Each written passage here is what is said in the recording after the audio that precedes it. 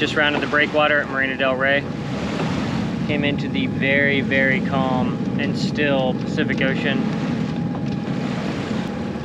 By design, that's for sure. Um, two months ago when I did this, uh, I departed in pretty heavy winds, knowing that they were there was heavy winds um, with the intention on, you know, skirting the sort of 17 knot zone and um, just kind of using that wind to get to get out towards the trades. Uh, my concern last time was that I was going to, it was going to be becalmed directly after that front, which is what happened. Um, and it worked out for me anyway because those winds like kicked my ass in such a way that it kind of broke everything that was going to break early on and not when I was past the point of no return. So, but today everything's repaired. Everything that showed up in the last passage attempt I've, I've dealt with. And um, we have 47 gallons of fuel on board. And uh, I plan on motoring at least for the first 24 hours and getting out past the outer islands and everything. Um, it's gonna be pretty mellow winds and, and seas for the first many days. Uh, there is a tropical depression, Kevin, that is scheduled to kind of break up tonight when it kind of hits the trades. And um, it'll just break up into a low. There's a tropical storm which should become a hurricane in the next couple days down near Baja called Linda. She's um, forecasted to track due west so um, it, if anything, I'm, I'm, not concerned about getting hit by a hurricane, but they could actually suck the wind out and becalm me and make the passage longer than it would have been. But that's what happens when you end up having to leave this late in the season. So we're just going to enjoy not getting the shit kicked out of us for a couple days.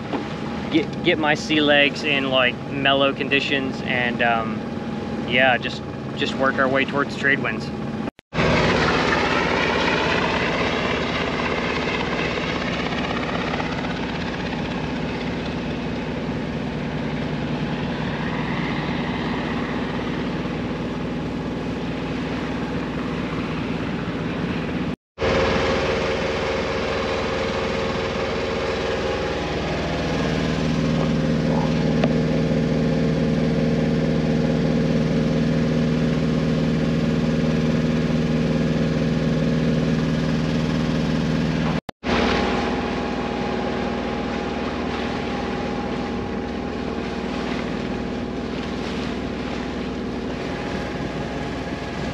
A helicopter with something hanging below it. I'm not sure what that is. We're not too terribly far from St. Nicholas Island, which is a military installation, and they do all kinds of live fire drills and whatnot, so it may be part of that, I'm not sure.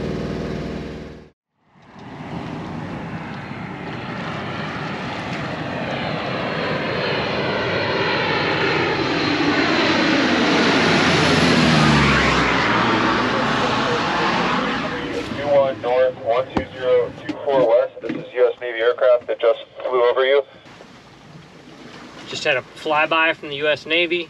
They hailed me on the radio. I chatted with them. Um, they're doing live fire exercises. This is the Pacific Missile Range. And um, they just want to make sure I heard the notice to mariners and everything and, and my course and speed and everything.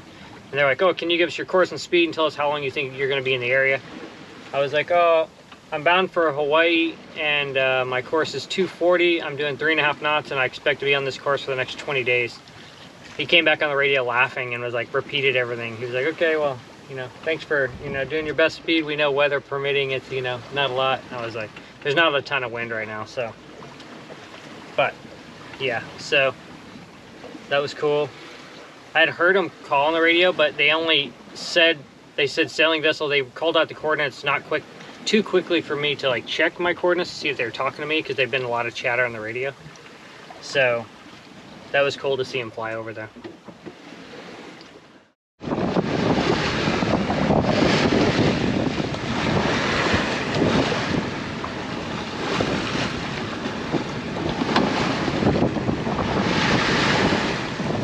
In the wee hours of the morning, we passed the point that I had to turn back last time. so that was a happy thing, bit of celebration for me. Um, we made a 105 miles noon to noon yesterday, which has been our best day under sail so far. And um, hopefully it's like a, you know, like 100 mile days is kind of the goal. So I was I was stoked on that. Um, and uh, that would be nice. It's good to see what she can actually do out at sea, especially when we're not beating into a bunch of shit. It's like you can actually see what she can do, and it's pretty, pretty, pretty stoked on the progress. Um, seas are lumpy, but they're fine. Not a big deal. Um, they're not very big at all. And uh, yeah, everything is a brilliant blue. The water is like cobalt blue Sky is baby blue. Very beautiful out.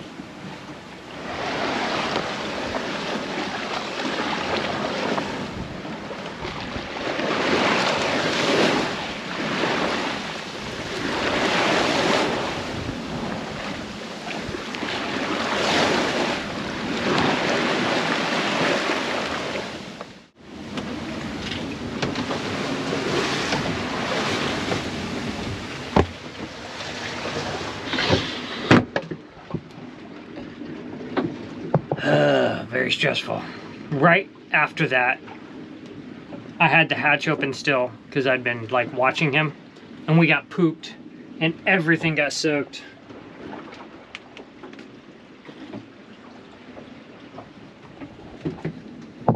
Luckily it was like not too bad. Um, I got everything dried off, but fucking hell. My brother saved my ass. This is the one he had warned me about that was so close.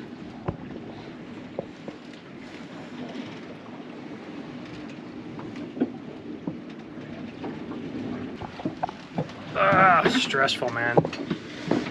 Hopefully I won't see him anymore after this. I mean, we're 500 miles offshore. And like, not in a necessarily an unknown shipping lane.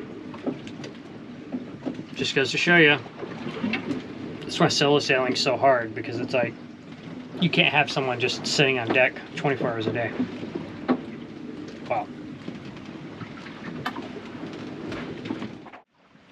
So this is the majority of ocean sailing. I guess solo. Laying in your nest with your lee cloth and um, I'm basically either sit here I have alarms set to like go up and look for ships um, also, my older brother has been sending me reports watching the Marine Traffic app. Um, send me coordinates so I can have a heads up because my AIS is not picking them up, so that's awesome.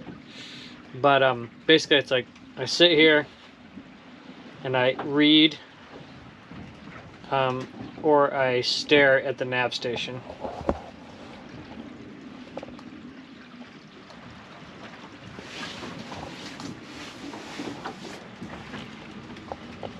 see if you can see that.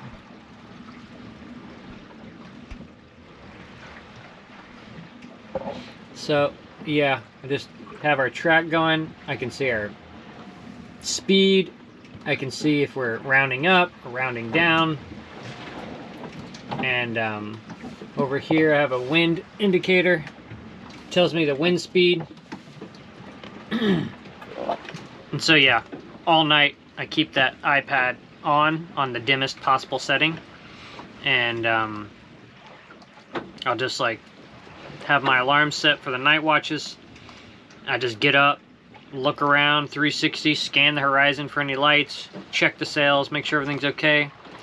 And uh, the rest of the time it's like I kind of sleep with like one eye open it seems like. Um, you can kind of hear and feel the ship and know if something's wrong. And there's certain sounds I'll know the wind speed based on certain sounds I'm hearing that's always like a good indicator I'm like okay you know she's trying to round up or there's too much wind like last night in the middle of the night I got up and um, had to put a reef in because it started howling like 20 knots just out of nowhere in the middle of the night tonight I outsmarted it and like there was a kind of a little calm earlier the wind always ramps up right before sunset. But there was a little calm, so I ran up and tied a reef in and kind of got the boat on her track. And um, sure enough, it was like doing, you know, 20 knots with within an hour of me doing that. So I was like, I was stoked that I had that happen to me enough times in the last couple days that I'm like, okay, this is the routine. So yeah, that's like the majority of the day to day here on the boat. And if there's not not too much chaos, then you actually try to prepare some hot food. Otherwise, you just eat cold food. um, but yeah, it's been good. There's been no seasickness on this entire trip, so that's awesome. And the forecast is for the winds to like actually come down, and by Sunday, this is Wednesday. By Sunday, we should be in the trades because we should be halfway. And then it's like kind of smooth sailing in theory.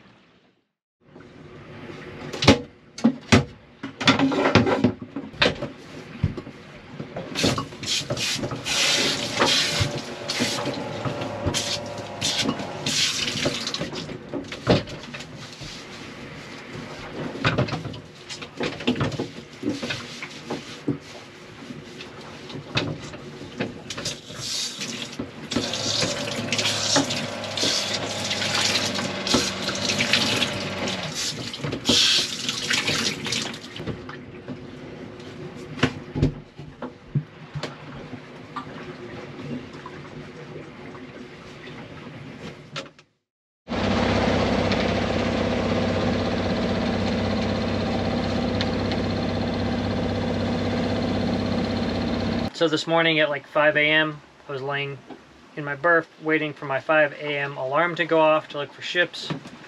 And um, I started hearing this weird beeping. I was like, what the hell is that? And uh, I thought it was like, sometimes there's weird messages that come over the VHF. Um, and so I set up and looked, and the VHF was like shutting off and coming back on. And I was like, and then I heard it again. I realized the actual beeping was coming from the wind instrument, like low voltage alarm or something. So I checked the voltage, and we were below 11 volts um, on the house bank, uh, which has never ever happened before. I've never seen it go below 12. And I had checked the battery bank capacity when I had laid down for the night, and it had it was at like 85.9% capacity.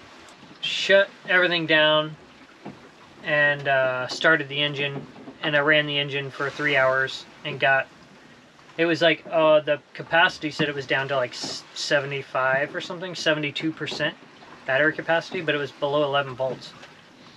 So I shut everything down and um, ran the engine and got it up to like for three hours and got it up to like 85 point something percent and then killed the engine. And by that time it was like the sun was coming up or was already up. So um, now I just have every, all systems shut off except for the iPad, the GPS, and the wind instruments in my Iridium Go. I'm hoping that there's something wrong with the ICOM VHF, which that thing's only two years old, so that's a bummer. But hopefully, because it was having trouble, even when I had the engine running, I, I turned the VHF on to see what was happening and it was having trouble picking up a satellite signal for the GPS. So maybe something's wrong with it. The batteries are up to, see we're at 14 volts right now because the sun's out and um, the capacity's up to 100%. It's all topped up. It's 11 a.m. Yeah, I think tonight will be really telling as to what's happening. So tonight I'm just going to run the systems I have running today and then at every like watch alarm I'm going to log the percentage and the voltage all night and see what's happening. Well, I could be able to. I should be able to charge all the battery stuff in the daytime anyway, from just the solar. So I guess that's not. It's not really a, as big of an issue as I thought because the iPad has a battery, the Iridium Go has a battery, my phone has a battery, and the GPS Puck has a battery. So is at 5.30 after I got the engine started and everything. I had been watching for this ship all night that my brother had alerted me to. Um, actually, my brother David and Captain Dave Stovall. Like, my brother David sends me, like, a bulk of, like, stuff to watch for in the morning before he goes to work, and then a bulk at night when he gets off work, stuff to watch for at night. And then Captain Dave Stovall watches the Marine app, and if anything looks like it's getting close to me, he'll message me and be like, hey, look for this, you know. So both of them had told me about this one tanker to watch out for. so I'd been watching all night for it. And then he was probably five miles off directly on my bow um, at uh, 5 a.m. So not a close call, but considering how big the ocean is, pretty close call. It was another one that got within 26 miles of me astern yesterday as well. And my A my AIS has not been working at all. So the AIS works great in port or like around LA. It'll it'll light up the whole screen with a billion signals. But once you get out here, like the one ship that passed me so close by, it was not anywhere on. So that thing is totally useless and untrustworthy. So I have to figure out a new AIS situation. Um, but you know, that's things things you find out once you get out out in the wild.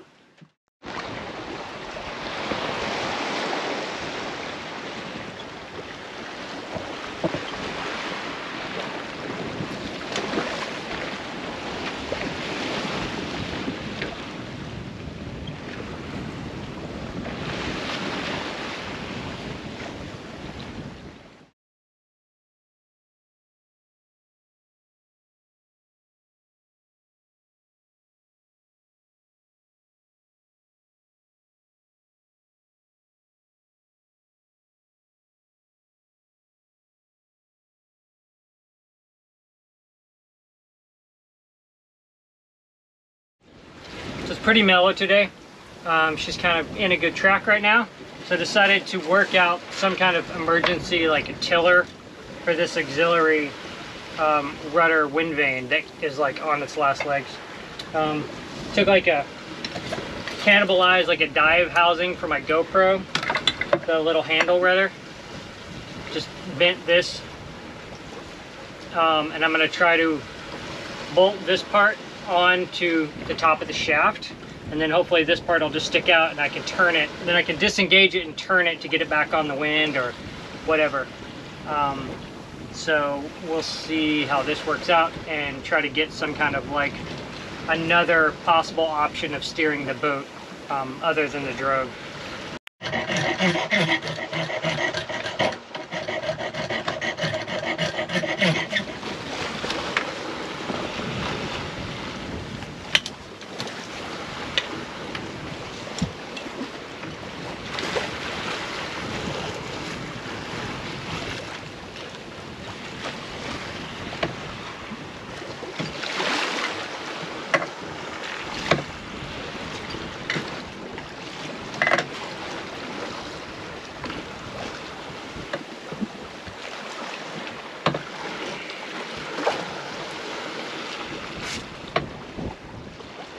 So I think my little steering handle is going to work. Um, just below that, you'll see my repair where I over drilled and tapped new threads for that for the housing. It failed several days ago, so that'll have to be dealt with in Hawaii. But um, I think this little handle is going to work. Um, it's not very strong, but as long as I'm just like casually turning the boat, then it should work. Let's check it out. So here it is. It's bolted to the shaft top. You can just, when you disengage it, you can use this to turn the shaft. You'll see it turning on its own as the wind vane tries to do its job.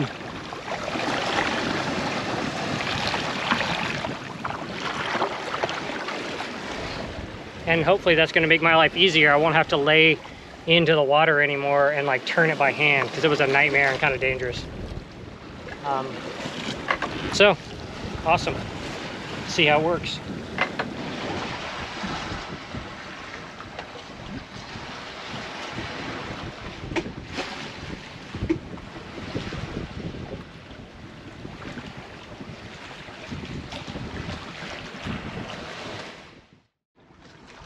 It is afternoon of day 29. Last night and like yesterday's noon to noon run was incredible. We got on this like on this solid track. The seas have laid down. the trade winds came, backed around to their normal position, and um, it was blowing like a steady 10 knots for over 24 hours, and we just cruised. We made, I think, 76 miles on the noon to noon run yesterday, which is a big bump from the all the previous days we've been doing. So that is awesome. As of a little bit ago, we were 198 miles from entering the channel between Molokai and Oahu, and I am very, very excited to finally make landfall. Last couple of days, um, I was battling the engine. I couldn't get it to start, had all kinds of problems. Um, got some seawater into the fuel, so it got contaminated, but not a lot. And I was able to drain all of that off through the water separator with the fuel filter, but I went through a couple fuel filters and so yesterday I put on my last fuel filter, ran through all of the um, the bleeding procedures, and but it was a, it was a two day battle to get the engine to restart, and uh, I finally got it started yesterday, and ran it for an hour. She sounded great and happy, so that's one less thing I need to worry about. Um, and I'm definitely gonna want to have that auxiliary power if I get to that channel and there's light winds because there's so much shipping traffic, I'm gonna want to motor through the channel overnight if I get there at night. So that took a, a huge load off my mind. Other than that, just ghosting along. The days flowing together and uh, pushing inch by inch towards Hawaii.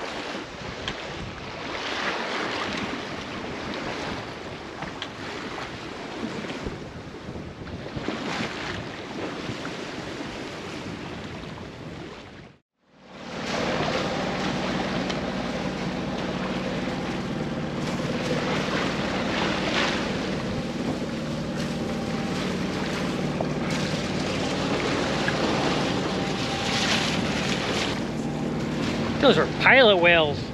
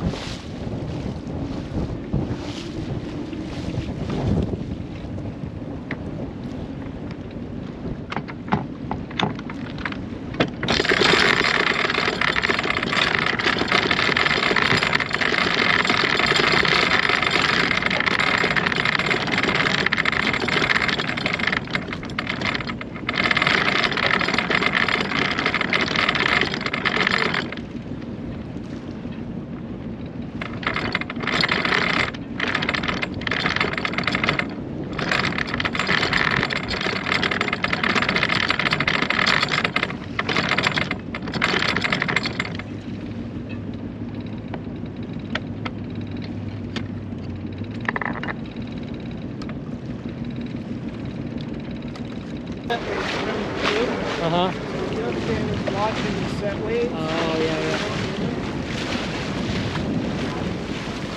I couldn't believe there was no swell in that anchor. Yeah. Just a good little spot. Come this way and then you start getting uh, bubbling and queens.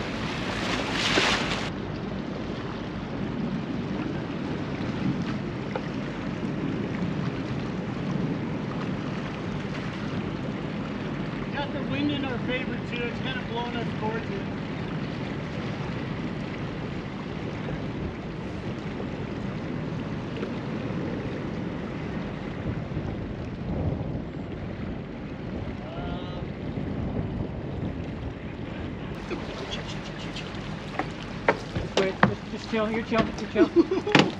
I don't want you to You're slam. chill. Gonna spring us? Yeah. Okay. Good, good. Beautiful. All right. Line. Yep. Drop the lines. You gonna throw me this stern line? Yep. That's fine.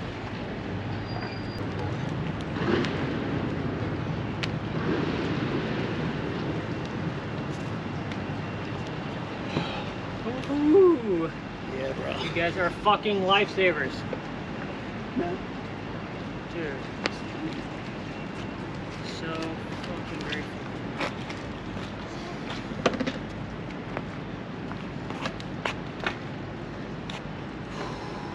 Is it supposed to be over that anchor stuff or under? Uh, It's that's fine. It, it's fine. You can just tie it off. I can I can get it tuned up. toilet here. I don't know if it's unlocked. Look at that.